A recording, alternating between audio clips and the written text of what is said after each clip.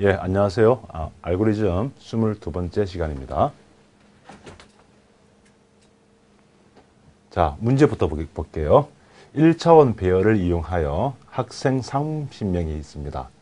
어, 성명, 국어, 영어, 수학 점수가 아, 컴퓨터까지 있네, 그죠? 받아서 총점을 계산하고 계산된 총점으로 석차를 구하는 성적 산출 알고리즘이다. 이렇게 되어 있네요. 그죠?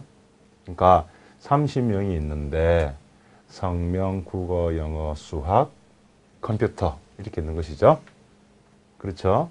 해서 총점 계산하고 어떻게 하면 돼요? 다 더하면 되죠.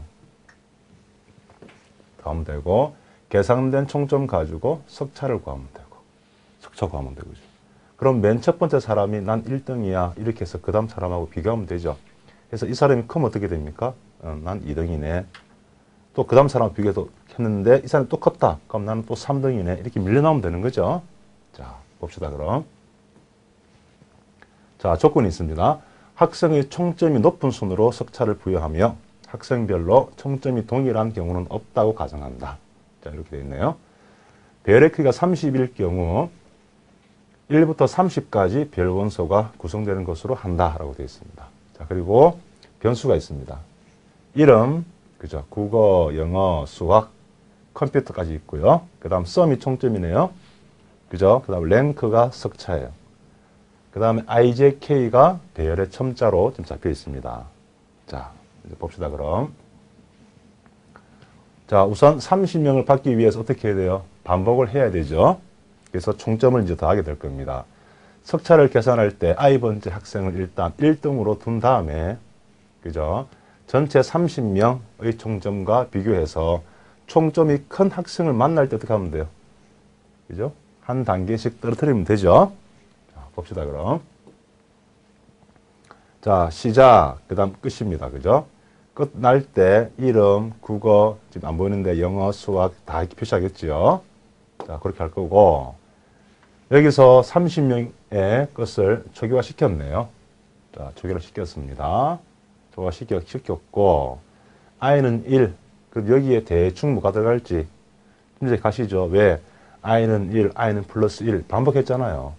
그죠? 그럼 안 봐도 되겠네요. 30명 더하겠네. 그죠? 왜? 30명을 읽어서 여기서 뭐 할까요? 합계를 구하겠네. 그죠? 그 다음에 순위를 1로 잡아서 반복하네요. 반복해서 비교하죠. 비교해서 어, 이 값이 이 값이 이 합 계 합계보다 작으면 어, 합계가 이 값보다 작으면 순위를 내리면 되겠네요. 그 다음에 출력하고요. 어, 그런 알고리즘이 되겠습니다. 자 그러면 하나하나 보도록 합시다.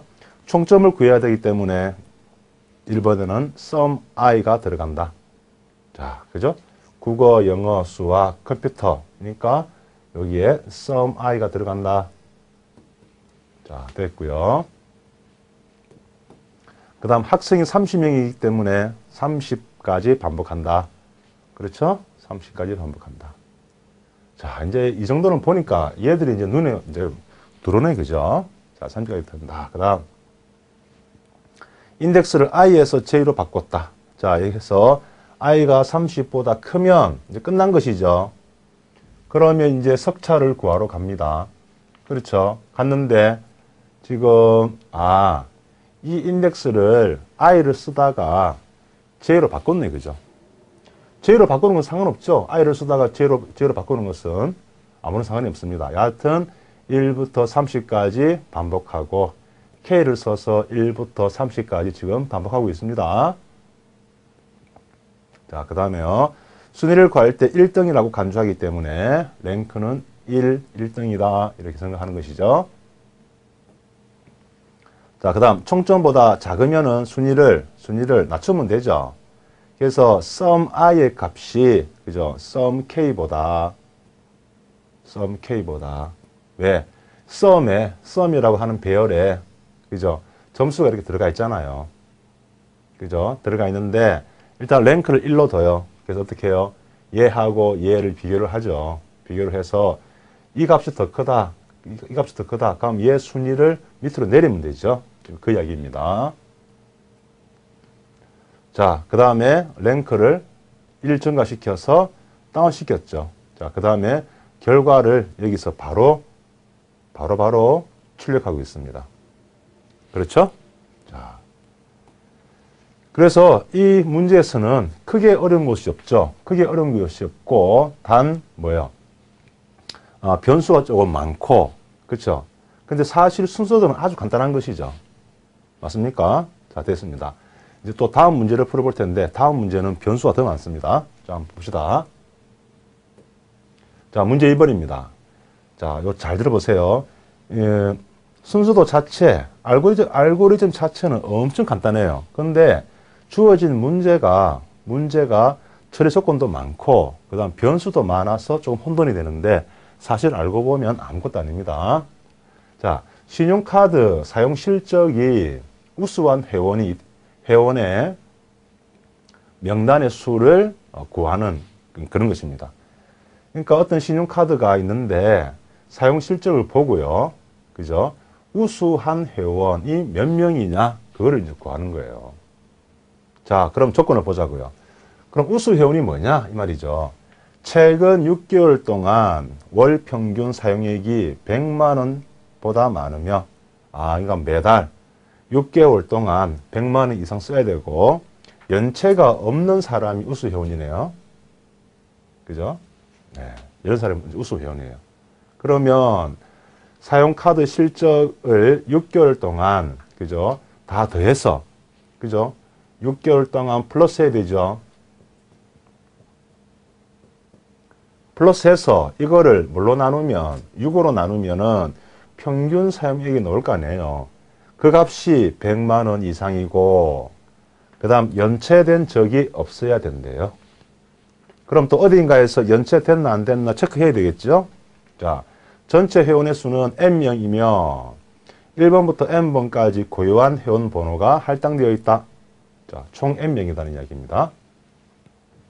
그 다음 회원 I의 최근 6개월의 카드 사용액은 PI, 6의 2차원 배열 변수에 저장된다. 자, 그러면 이런 것은 여러분들 어떻게 해야 돼요? 그림으로 딱 그려놔야 돼요. 그림으로 그려놓고, 그죠? 아, 카드 사용액이다. 이렇게 이제 표시를 해놔야 되죠. 그쵸? 그럼 이게 무슨 말이에요? P라고 하는 배열이 있는데, 그죠? 맞습니까? 회원이 몇 명이에요? N명이죠, N명. 그렇게 N 이렇게 있단 말이에요. 그 다음에 얘들이 이렇게 N으로 나누시고, 얘가 몇 개로요? 여섯 개로 이렇게 나눠져 있죠? 그죠? 나눠져 있고 그 각각의 6개월의 사용 카드액이 사용액이 있대요. 그러면 이, 어, 이런 식으로 6개월 동안의 사용 카드 금액이 이렇게 있을 거 아니에요. 그죠? 맞습니까? 그렇죠? 자, 이렇게 되어 있다는 얘기고 그 다음 회원 I의 최근 6개월의 연체 여부는 DI26이 있대요. DI26의 2차원 별 변수에 제공이 된, 되는데 어, 0이면은 연체가 되었다는 이야기고요. 1이면은 정상이라는 이야기를 합니다. 그럼 마찬가지로 D라고 하는 것도 그죠? 2차원으로 되어 있는데 맞아요. 이게 6개월 동안 이렇게 있을 거고요. 그죠? 그럼 이 중에서 다 1이다가 하나만 0이라도 최근에 연체된 적이 있네요. 그죠? 자, 그 얘기입니다. 그 다음 순서대로 사용되는 변수 보세요. 개수가 엄청나게 많잖아요. 그죠? 그래서 이 문제 분석, 문제 분석만 잘하면은 순서도는 아무것도 아닙니다. 자, 그럼 하나하나 봅시다. 자, N은 전체 회원의 수입니다. 아, N명까지 있다. 자, 그 다음 P는, P는 6개월간의 월 사용액을 보관하고 있는 2차원 별이다. 2차원 별이다. 월 사용액. 그러니까 얼마 얼마 얼마 섰다. 그게 들어가 있다는 것이죠. 그 다음에 S에는 뭐가 들어가 있다? 카드의 총 사용액이다. 총 사용액이다. 그럼 P에 있는 6개월간을 다 더한 것이 S에 들어 있겠네요. 그 다음 M에는, M에는 각 회원의 최근 6개월간의 카드 월 평균 사용액이다. 그럼 6으로 나눈 금액이 들어가 있겠습니다. 자, 그 다음 D. 각 회원의 최근 6개월간의 월배, 월별 연체 여부를 보관하는 것으로 1이면은 연체가 없답니다. 1이면은 연체가 없대요. 근데 0이면은 연체가 있답니다. 그 다음 F. 회원의 최근 6개월간의 전체 연체 여부를 보관하는데 1이면은 연체 없이 정상이며 0이, 0이 면은 연체가 있는 것으로 간주한다. 자, 됐고요. 2. 많죠. 각 회원에 대하여 우수 회원인지 여부를 판단한 결과를 보관하는 배열이다. 1이면 우수 회원, 0이면 보통 회원. 잘 됐네. 그 다음 R, 우수 회원의 수, 그 다음에 IJ 이렇게 되어 있습니다. 그래서 순서도를 보시고 순서도에 나오면 이게 무엇인지 판단하셔야 되는데 이렇게 변수가 많고 또 어떤 것은 1차원 별, 어떤 것은 2차원 별이잖아요. 그래서 이런 문제 풀 때는 여러분들이 그림을 그려놓고 푸는 게 좋습니다. 자, 그러면 구하는 방법이죠. 6개월간 사, 카드 사용 총액을 다 더한 다음에 6으로 나누면은 월 평균 사용액이 나올 것이고요. 회원 I 카드 사용 총액은 변수 SI에 월 평균 사용액은 변수 MI에 보관이 지금 되고 있습니다. 그 다음 회원 연체 여부를 어떻게 판단할 거냐 하면은 0이면은 0이면은 최근 6개월간 연체가 한 번이라도 있다는 이야기예요. 그죠? 왜? 연체가 있으면 0으로 이렇게 표시하라고 했거든요. 그래서 어, 6개월이 이렇게 있단 말이에요. 6개월이. 6개월이 있는데 연체가 없으면 뭐예요? 연체가 없으면 1, 1, 1, 1, 1 들어간단 말이에요. 연체가 없으면은. 근데 나중에 한 번이라도 연체가 있으면 여기에 0이 들어간단 말이에요. 그러면 연체가 있나 없나를 최종 판단하기 위해서는 얘들을 다 곱해 본단 말이에요. 곱했을 때 0이면은 연체가 있다는 이야기잖아요. 근데 우리가 구하는 것은 뭐예요? 그죠? 연체가 없는 사람을 구하는 거예요. 그래서 곱해서 그죠? 0이 아닌 사람을 카운트 해주면 되는 거예요. 자, 그 다음 배열 EI에는 각 원소들의 합을 구하, 구하며 전체 어, 합을 구하면 전체 우수 회원의 수가 된다. 그러니까 EI의 우수 회원인지 아닌지가 저장이 되기 때문에 그렇다는 것이죠. 자, 그래서 이제 그림으로 이렇게 여러분이 그려 봐야 되는 거예요. 자, 이게 몇 명이세요, 이게? 이게 몇 명이에요? N명이에요, N명. 그죠? N명인데, P가 2차원별이잖아요. 그죠? 2차원별인데 카드 사용액이에요. 그래서 6개월 동안에, 6개월 동안에 카드 사용액이 이렇게 있단 말이에요. 자, 있고, 그럼, 그러면 얘를 뭐예요? 얘를 다 더해 준다는 거예요, 이렇게 다. 전부 다 더해 주면 어디에 들어간다? S라고 하는 변, 아, 배열, 배열에 들어간다는 거예요. 그죠? 이렇게. 그러면 이 어떤 특정한 사람, 이걸 I라고 해요, I. 그럼 I 이 사람의 6개월의 사용 금액이 S에 들어간단 말이에요. 그죠? 그럼 이걸 6으로 나누면 뭐야? 6으로 나누면 평균 사용액이 들어가겠죠. 그리고 그거를 어디에다가 어, 돌아가겠습니까? 그거를. 자, 그거를 N 배열에다가 도라고 했다고요. 문제상에서. 자, 그렇게 됐고, 그럼 이 월 평균 사용 금액이 얼마 이상? 100만 원 이상이고, 그 다음, 연체 여부, 연체 여부가 T에 들어가 있는데, 그죠? 이게 0이 아니면, 그러니까 연체가 없으면 전부 다 1이 들어가는 거예요. 그죠? 곱했을 때 0이 아니면, 그러면 그 사람이 우수 회원이란 말이에요. 그래서 우수 회원이면은 1, 아니면 0으로 이렇게 이 배열 변수 안에 들어가 있단 말이에요. 그럼 마음 되는 거예요. 이 1의 개수만 쭉 구해주면 되는 거죠. 그죠? 그래서 문제가 복잡한데, 복잡할수록 여러분들이 이런 그림을, 그죠? 그려놓고 순서대로 파악하시면은 좀 쉽게 문제를 풀 수 있는 것이죠.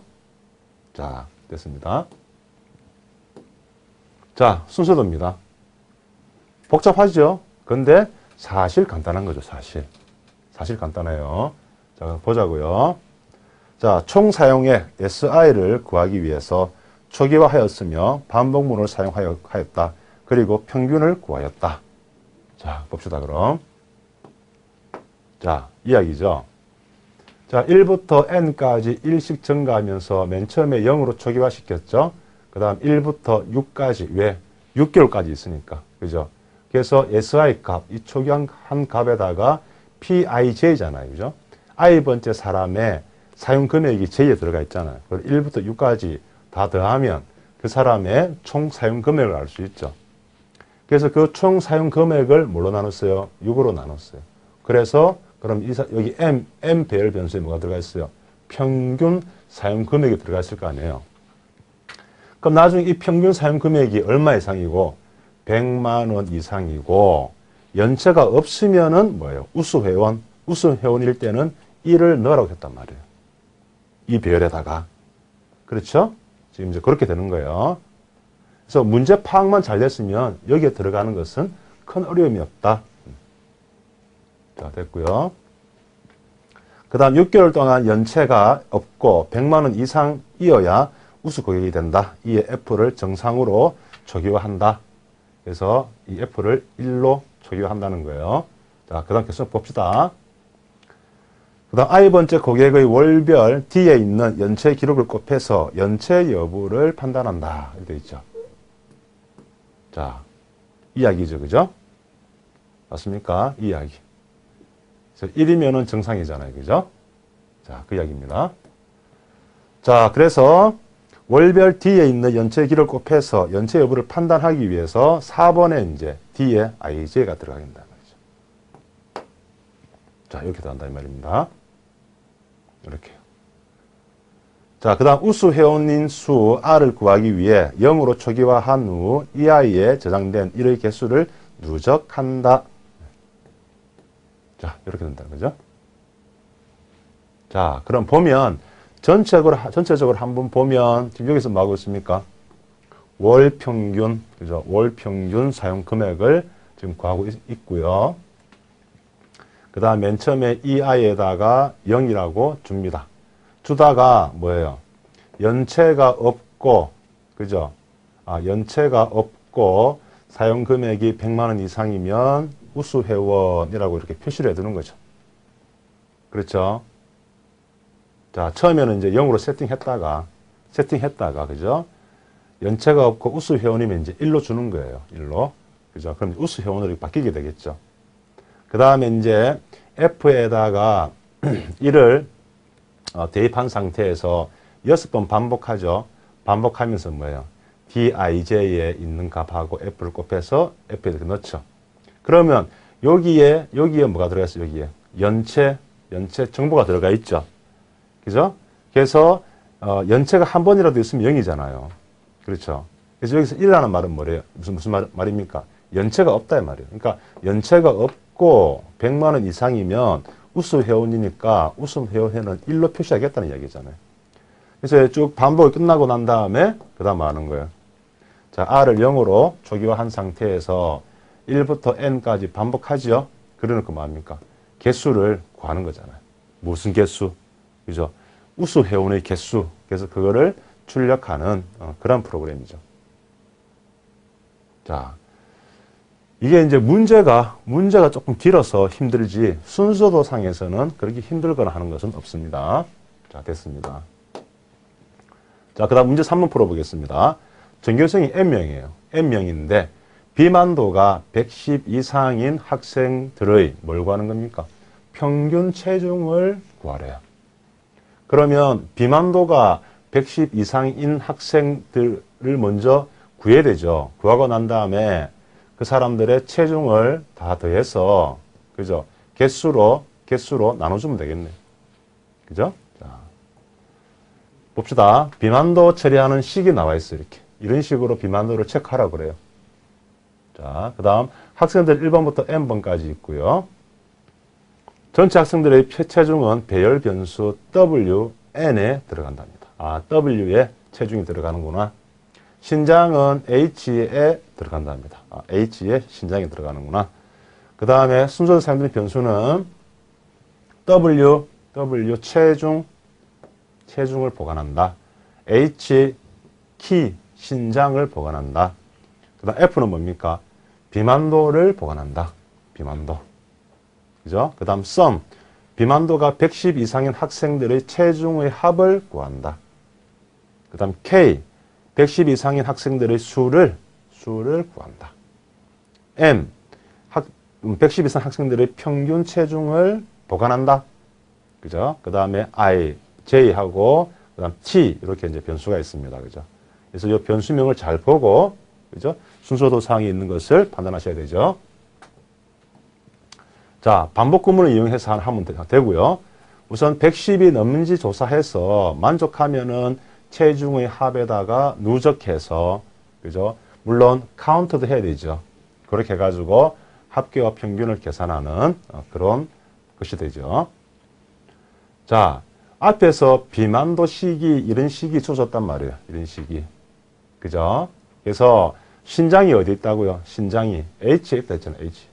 H 배열이 있다 했단 말이에요. 신장이. 자, 그럼 신장 빼기 100. 그걸 뭐로 뒀어요? T로 뒀죠? 자, T 곱하기 0.9. 자, 그걸 또 T로 또, 또 뒀네요. 그러면 여기까지 끝난 것이죠. 어디십니까? 여기까지. 그죠? 그 다음에 뭘로 나눠야 돼요? 체중. 체중. 체중이 여기 들어가 있잖아. W. 체중이 들어가 있고 그걸 나눴어요. 그럼 여기까지 끝난 거예요.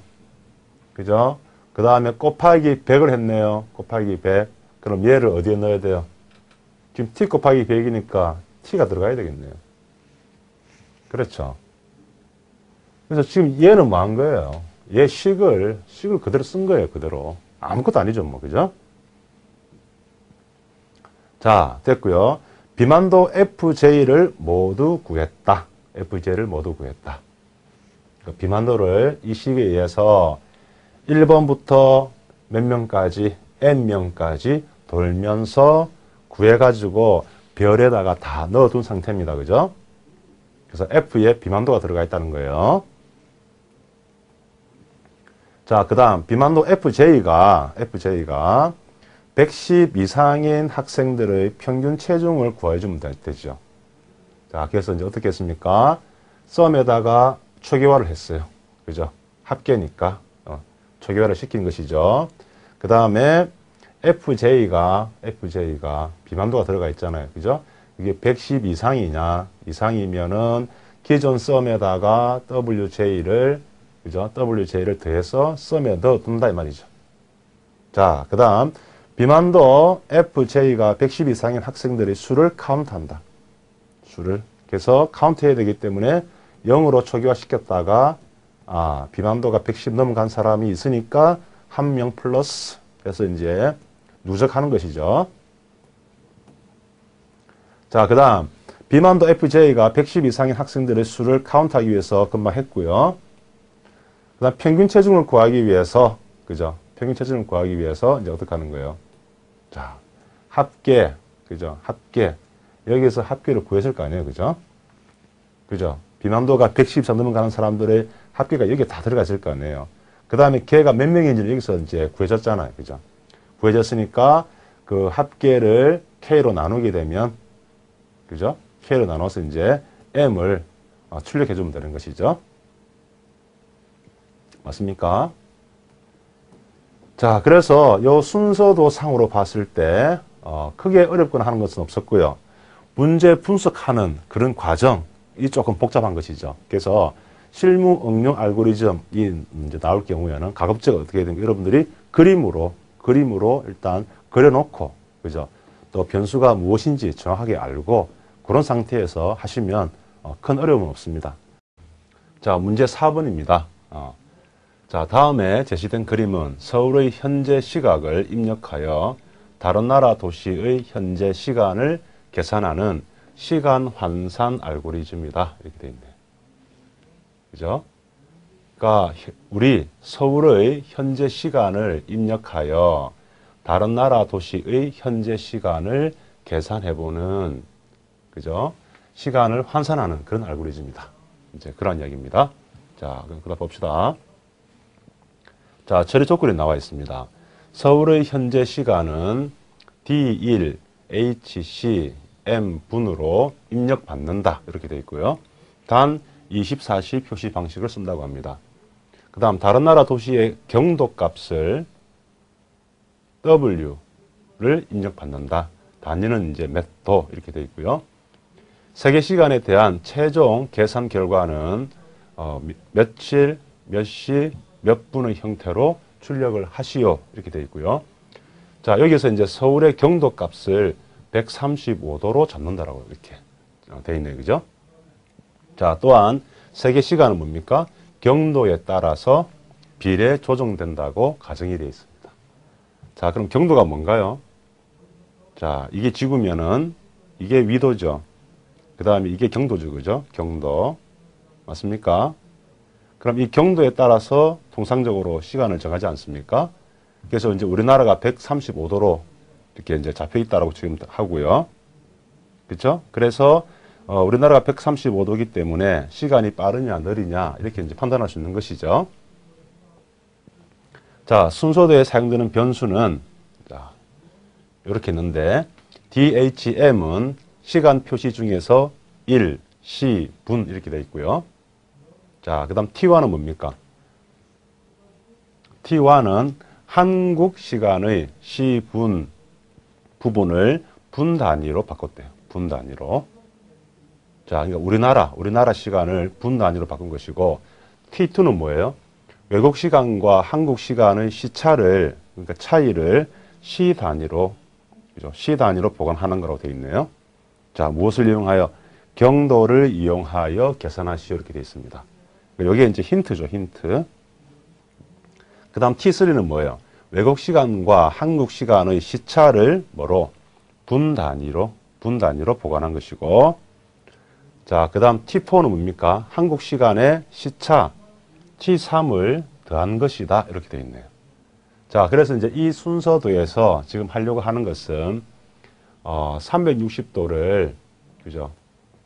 360도를 이제 15도로 나누게 되면은 24가 되는 거죠. 그러니까 24시가 된다 이 말이에요. 그러니까 무슨 말이냐면 1시간에 15도 차이가 난단 말이에요. 그래서 그런 경도를 이용해 가지고 이제 문제를 풀어보는 어, 그런 것이 되겠습니다. 자, 그럼 이제 어떻게 하는 거냐? 이렇게 한단 말이죠. 360도를 그죠? 24시로 나누니까 15도가 되더라 이 말이에요. 그죠? 또는 뭐 360을 24시가 되기 위해서 그죠? 해보니까 1시간에 이제 15도더라 이 말이에요. 즉 1시간에 15도 차이가 발생하기 때문에 그럼 이것을 이용을 하면 되지 않느냐? 이제 그런 얘기죠. 자, 그래서 서울의 경도와 비교했을 때 얼마만큼의 경도 간격이 발생했는지를 계산하게 되는데요. 왜? 서울의 경도가 135도라고 지금 문제에 주어져 있잖아요. 그렇죠? 자, 경도 변화에 따른 시차를 분 단위로 계산하고 분 단위로 계산하고 경도가 작으면 음수 값을 갖게 되겠죠. 당연히. 그렇죠? 그러면 서울의 현재 시각을 분 단위로 환산한 후에 위의 시차를 이제 합하게 되는 거죠. 합해서 최종 결과가 0보, 0분보다 작으면은 뭐예요? 작으면. 작으면은 날짜가 하루 늦다는 거죠. 그죠? 하루 늦다는 것이고, 그 다음, 하루, 즉, 24 곱하기 60분 이상이면 날짜를 하루 증가시켜서 보정한다는 거예요. 그 다음 보정된 값을 시분 형태로 바꾸어 날과 함께 이제 출력해 주면 되겠습니다. 그래서 문제상에서 이제 이것이 힌트고 이것을 이제 이용해서 이제 문제를 풀면 되는 것이죠. 자, 한번 절차를 한번 생각해 보자고요. 어떻게 이제 문제를 풀지. 우선 서울의 현재 시간을 D, H 분으로 지금 입력을 한다라고 지금 돼 있, 단 말이에요. 그 다음에 현재 시각을 계산하기 위해서 원하는 도시의 경도를 이제 입력받는 것이죠. 그러니까 D, H, M, 그 다음 W를 이제 입력받는 것이죠. 자, 입력받아서 서울의 시간을 분 단위로 환산한다. 그래서 그것을 T1에다가 보관하자. 이 말이죠. T1에다가 보관하자. 그 다음 경도 변화에 따른 시차를 이제 계산을 해야 되죠. 자, 경도 15도가 뭡니까? 1시간이단 말이에요. 1시간. 1시간에 해당하기 때문에 이를 먼저 시간 단위로 계산한, 계산한 후에 그것을 T2에 넣습니다. 그 다음 분 단위로 환산합니다. 그래서 그걸 또 T3에 넣어요. 자, 그 다음 T3, T3를 서울의 현재 시각 T1과 이제 플러스를 해가지고 이제 T4에다 저장하는 거죠. 자, 그런 다음에 어떻게 하는 거예요? 계산한 최종 시각 T4가, 그죠? T4가 음수면 날짜를 하루 앞당겨 주면 되고 그러나 시각이 T4가 24 이상이다. 그럼 하루 넘어간다는 이야기죠. 그러면 날짜를 하루 늦춰줘야 한다. 날짜 종이 끝, 끝나게 되면은 최종 시간을 분 단위에서 시, 분 단위로 반환하면 변환해서 보여주면 되지 않느냐. 이제 그러한 이제 절차입니다. 자, 좀 복잡하지요? 자, 순서들을 보고 한번 이해해 보도록 합시다. 자, 순서도는 이렇게 이제 간단합니다. 그죠? 간단해요. 그래서 여기서 뭐 하는 겁니까? 입력 받는 거죠. 그죠? 입력. 그렇죠? 우리나라, 우리나라 그 입력 받고, 그 다음에 경도를 입력 받습니다. 입력 받아서 출력하는 건 뭐 하는 겁니까? 그죠? DHM을 이제 출력하게 되는 것이죠. 자, 그 다음에 여기서 뭔가를 하네, 그죠? 60이 더해진 거 보니까 H, H가, 아, 시간이죠. 시간 곱하기 60 하니까 아마 분 단위로 바꾸는 것 같습니다. 그래서 T1도 있고, T2도 있고, T3도 있고, T4도 있네요. T4는 T1과 T3를 더한 거고요. 그 다음 뭔가 비교를 해요. 비교를 해서 맞으면 이쪽으로 가고, 그렇지 않으면 이쪽으로 가는데, T4가, T4가 24 곱하기 60 이상이냐, 이렇게 물어보네요. 그러니까 하루가 지났느냐, 지나지 않았느냐, 그 이야기네, 그죠? 그럼 여기서 뭔가를 작업을 하고, 그 다음에 여기, 이 부분, 이 부분에서, 요건 우리가 많이 보았던 그런 형태인데, 요거는 이제 나머지 구한 다음에 못 구하는 그런 방법을 써서 최종적으로 이제 분을 어, 계산해서 내는 겁니다. 자, 우선 한국의 일시 분, 그 다음 외국의 경도 W를 이제 입력받았습니다. 여기서, 그죠? 자, 이제 입력받습니다. 입력받고요. 그 다음에 한국의 시간을 분 단위로 바꿔서 어디에 넣습니까? T1에다가 넣으라고 했잖아요. 문제상에서. 그렇죠. 자, 그래서 이게 이제 시간이니까 시간에다가 한 시간은 60분이죠. 그죠? 그 다음 플러스 분을 하면은 분이 T1에 한국의 시간 이 분으로 바뀌어서 T1에 보관이 됩니다. 그죠? 그럼 여기에는 우리나라의 서울의 분, 분이 T1에 있다 이 말이죠. 자, 그 다음 T2가 외국과 한국의 시간의 시차라고 지금 되어 있단 말이에요. 변수, 변수에서. 그래서 이것을 구하기 위해서 뭘 이용한다? 경도를 이용하여 계산한다. 경도를 이용하여. 그렇죠? 그러면 입력한 경도가 W잖아요. W. 그죠? 그래서 W에다가 우리나라가 135도라고 했잖아요. 그래서 135를 빼요. 그죠? 그 다음에 한 시간에 15도니까 15로 나누는 것이죠. 자, 이렇게요. 자, 그럼 그 값이 이제 T2에 들어가게 됩니다. 그럼 뭐예요? 그럼 결론적으로 T2가 이제 시차가 되는 거죠. 시차가. 맞습니까? 이게 시차가 되죠. 그럼 이게 시차, 이게 시간의 차이니까 여기에다가 분을 곱해주게 되면 뭡니까? 분이 되죠, 분. 그렇죠? 그래서 그거를 이제 T3에다가 넣는다는 이야기예요. T3 여기에다가. 그렇죠. 이제 요거는 시간의 차이인데 그것을 분으로 하기 위해서 곱하기 60을 한 거예요. 알겠죠? 자, 그러면 무슨 말이에요? T1은 우리나라의 시간을 분으로 한 것이고 요거는 뭐예요? 시간의 차이, 시차를 분으로 한 거예요. 됐죠? 자, 그 다음에 자, 됐고요. 그 다음 한국 시간 T1과 외국과의 시간, 시차, 이제 이 T3, 그죠? 이게 분이죠, 분. 그것을 T4에다가 저장을 했어요. 그렇죠? T4에다가. 그렇죠? 자, 이렇게 됐습니다. 자, 그 다음에 이제 비교를 합니다. 그죠? 자, 비교를 합니다.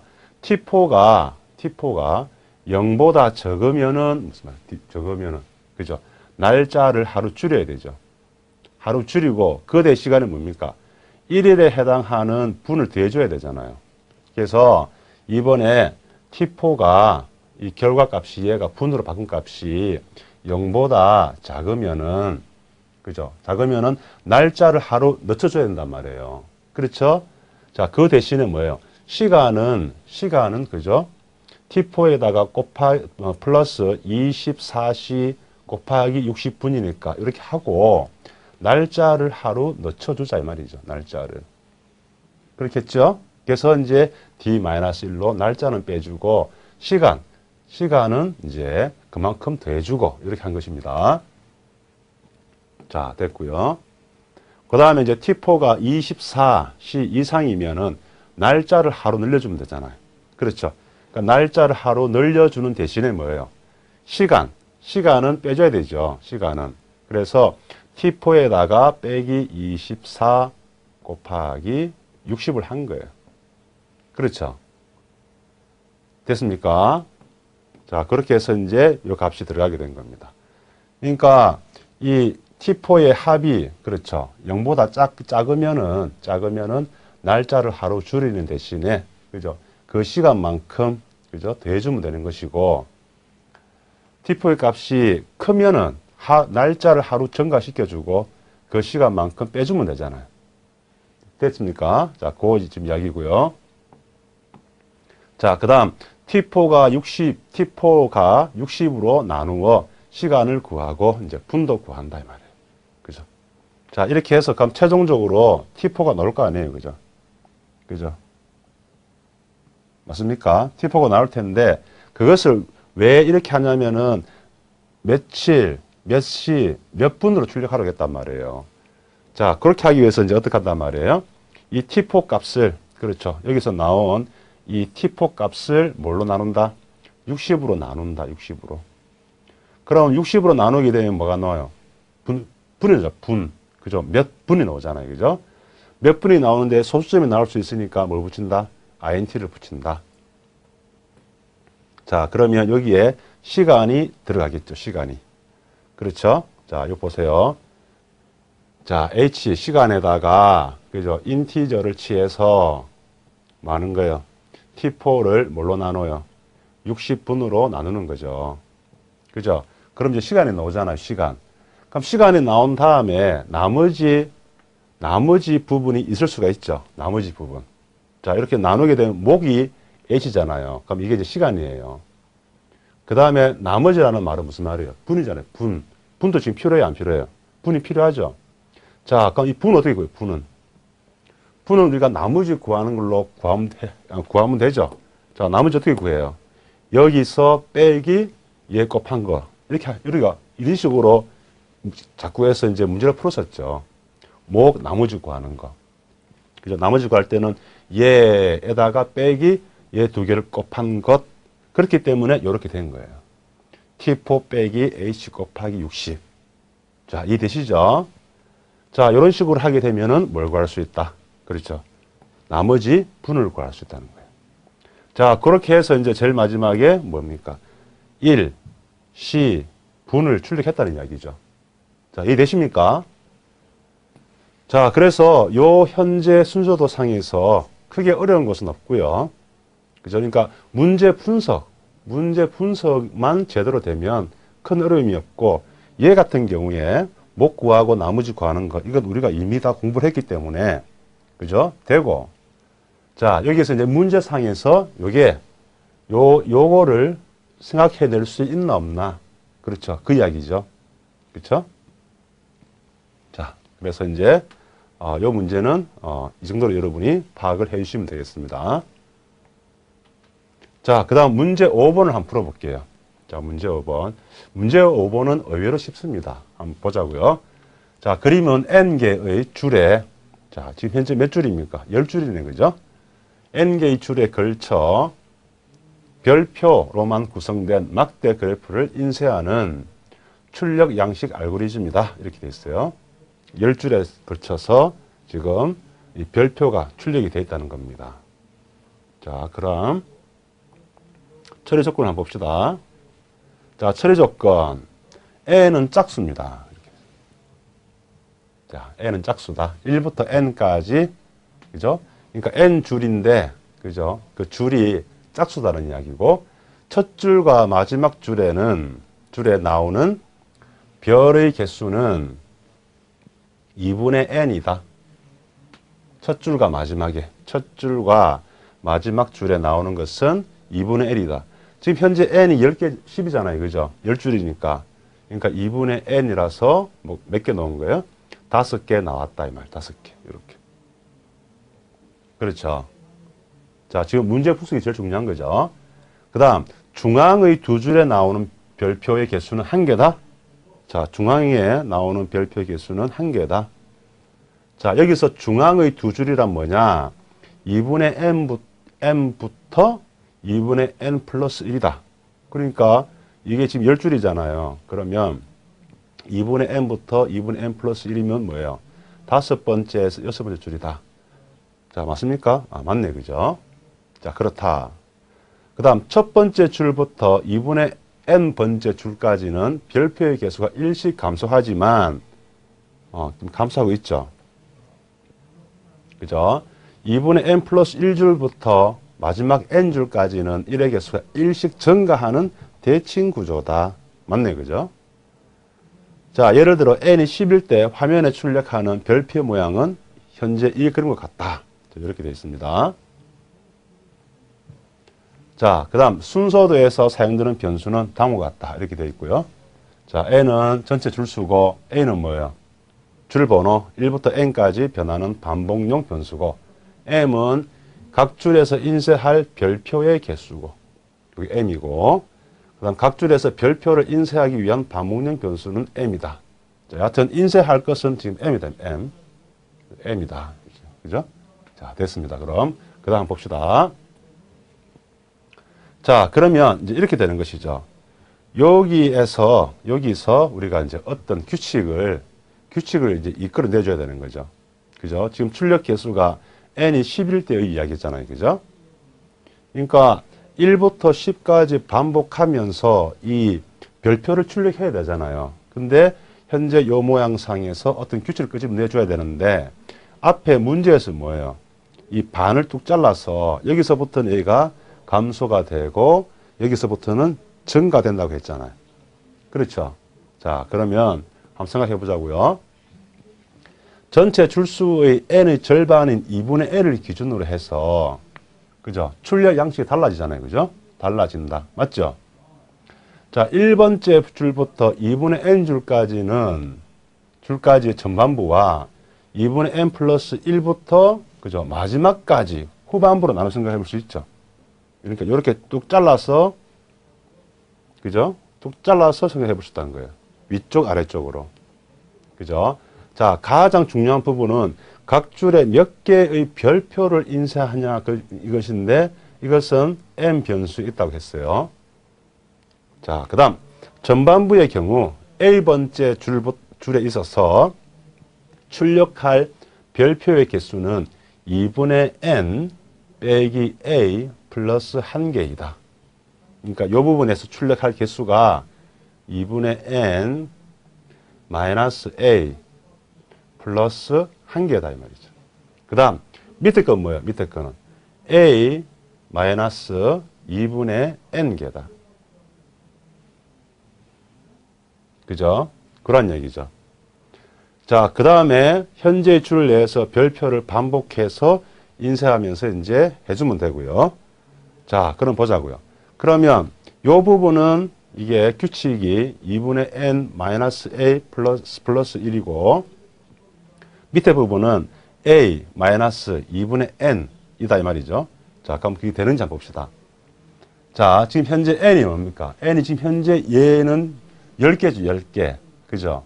그러면 첫 줄, 첫 줄 같은 경우는 뭡니까?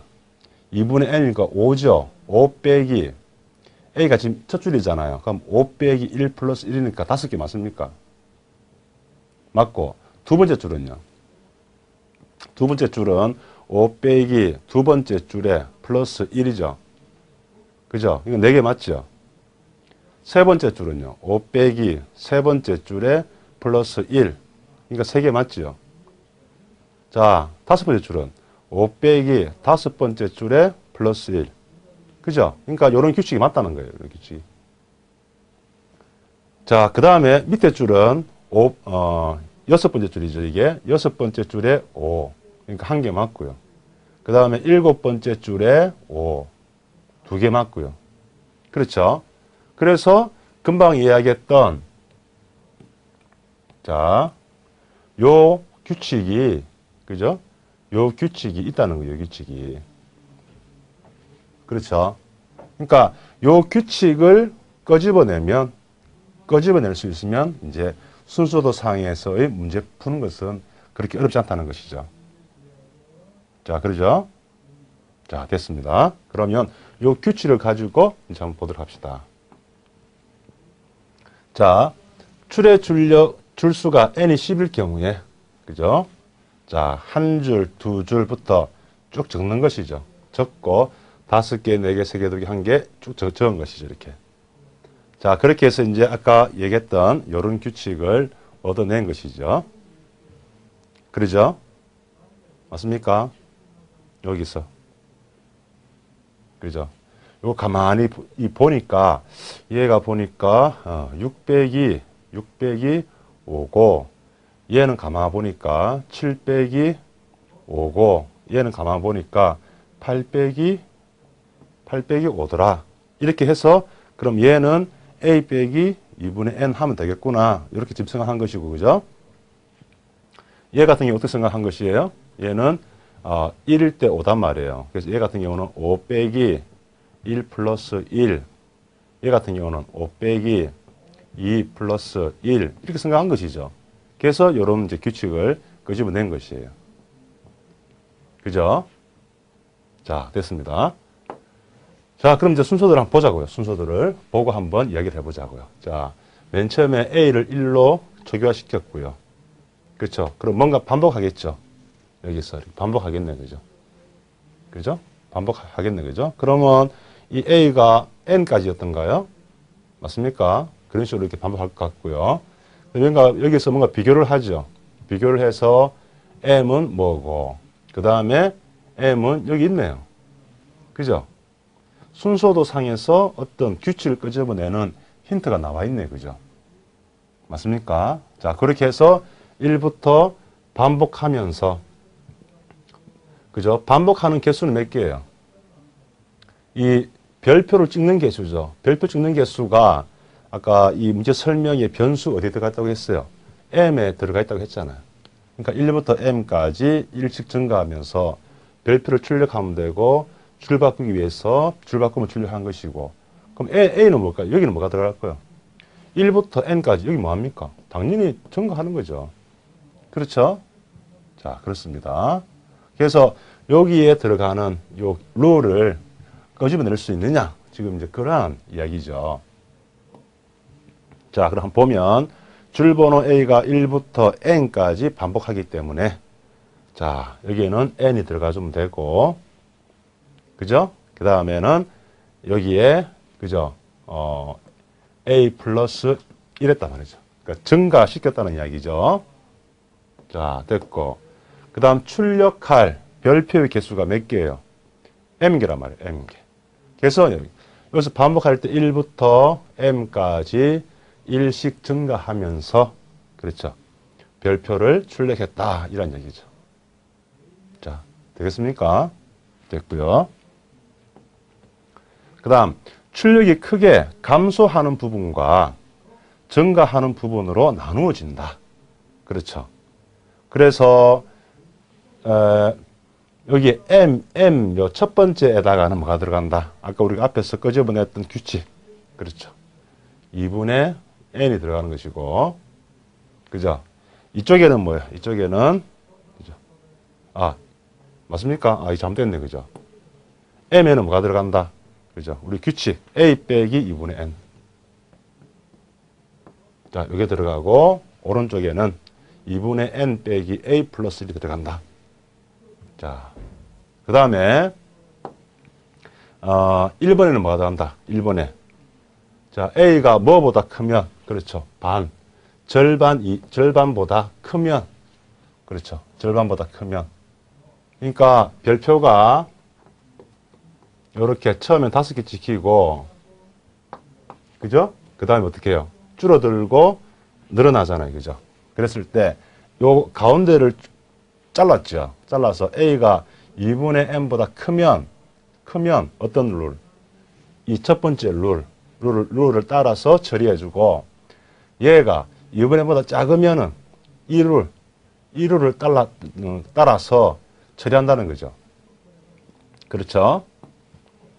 자, 그렇게 해서 이제 해주시면 되겠고요. 자, 그 다음에 이제 이 그림이죠. 그죠? 이 그림. 앞에서 했던 그림. 그래서 위쪽, 아래쪽. 이 말이죠.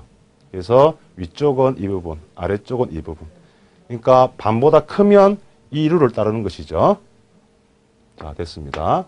그래서 이렇게 됐고, 예. 자, 그 다음에 요거 이제 제가 마지막으로 한번 설명드릴게요. 요거 한번 봐보세요. 1부터 m까지, 그죠? 일씩 증가하면서 별을, 이 별표를 출력했죠. 출력했는데, 이 줄바꿈 얘를 이쪽에다가 왜 안 넣었을까요? 왜 안 넣었을까요? 그렇죠. 왜냐니까 얘를 요 속에다 넣게 되면 어떻게 돼요? 별표 하나 찍고 줄 바뀌고 별표 하나 찍고 줄 바뀌잖아요. 그러니까 지금 하는 건 뭐예요?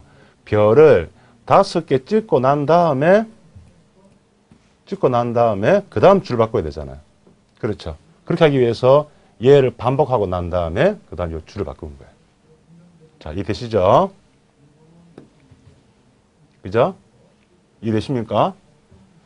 자, 그래서 우리가 이제 지금까지 그 여러 가지 순서들을 많이 봤는데, 자, 이게 제가 매, 제일 첫 시간에 여러분들한테 얘기한 거예요. 제, 제일 첫 시간에. 그래서 이제 항상 이런 알고리즘의 문제에 있어서 뭐다? 주어진 문제가 대체 뭘 물어보는 거냐. 그죠? 문제 분석 정확하게 하시고, 어떤 알고리즘이냐. 그 파악을 잘 하셔야 되고요. 그 다음에 뭐예요? 변수 구분을 이제 여러분들이 잘 하셔야 되죠. 그렇죠? 입력, 출력, 반복, 그죠? 반복 구문이 분명히 나와요. 비교해서 이렇게 도는 구문. 그럼 여기에 어떤 값이 있을 거고, 정, 여기에 비교해서 여기에 분명히 증가한단 말이에요. 그죠? 그런 것들.